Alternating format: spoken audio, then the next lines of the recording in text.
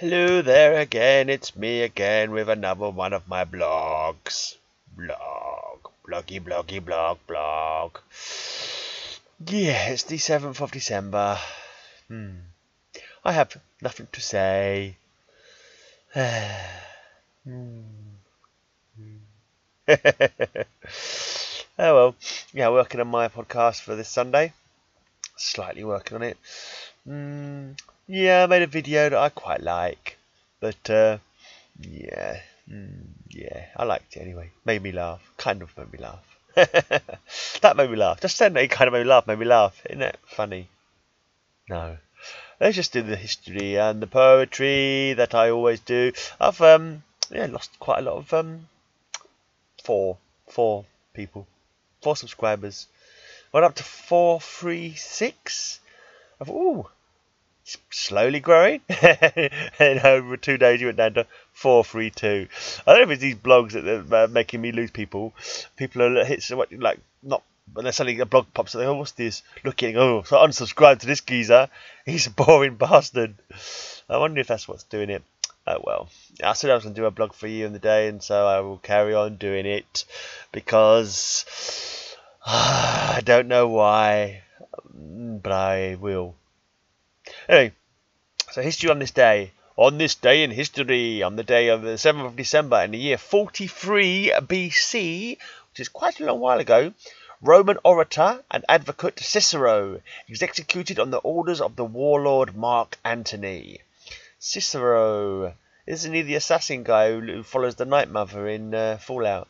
Fallout. I would get these things wrong. Um, Skyrim, I mean.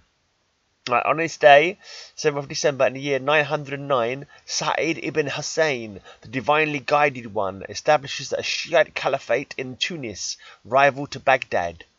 Oh, did he now? Hmm, I bet the Baghdadians didn't like that one bit. Is that why you got the Shiites and the um, what's the other ones called? The Sunni Muslims. Is that is is well, I don't know. I don't know about uh, Islamic history or whatever.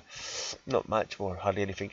Anyway, also in this day, 1941, Japan launches a surprise attack with 350 aircraft on the U.S. Pacific Fleet at Pearl Harbor, Hawaii. Oh, today was Pearl Harbor, was it? I see. Okay, that was in 1941. Well then, let's just give you a poem. A poem, then I can bugger off. Right, this is by John McCrae, who lived from 1872 to 1918. This poem is called The Pilgrims. An uphill path, sun gleams between the showers, where every beam that broke the leaden sky lit other hills with fairer ways than ours. Some clustered graves where half our memories lie, and one grim shadow creeping ever nigh and this was life.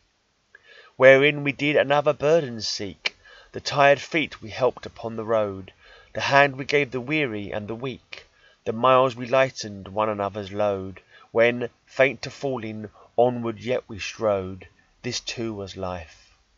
Till, at the upland, as we turned to go, amid fair meadows, dusky in the night, the mist fell back upon the road below, broke on our tired eyes the western light, the very graves were for a moment bright, and this was death. Hmm. Quite like that poem. Hmm. Hmm. Don't ask me why or what it meant, but yeah, yeah. I was. I don't know. I quite like that. I think I read it pretty well today as well. I don't think I made any cock up ets whatsoever. Ooh, aren't I a clever boy? but I'm off ski. I shall be back tomorrow with another blog, another mighty blog for you to enjoy or ignore or um whatever.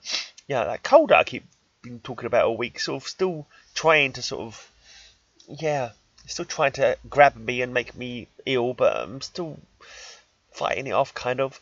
Hopefully it won't come and turn into a massive cold for the weekend. That would be annoying.